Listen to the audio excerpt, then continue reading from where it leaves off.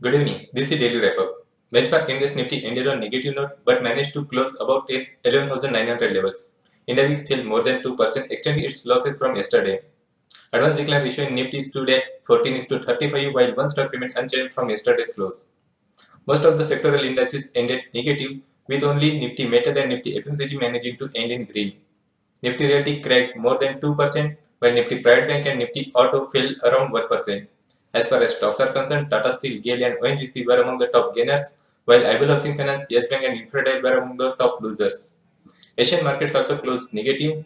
Japan's Nikkei and South Korea's Kospi ended with marginal losses while Hong Kong's Hang Seng plunged more than 500 points as Washington took a tough line on trade talk between China. On the other hand, European markets were trading lower by around half a percent. Technically, the immediate support for Nifty is around 11,840 11,860 zone followed by 11,770 levels. On the upside, immediate resistance is seen around 11,960 levels followed by psychological level of 12,000 mark. Thank you.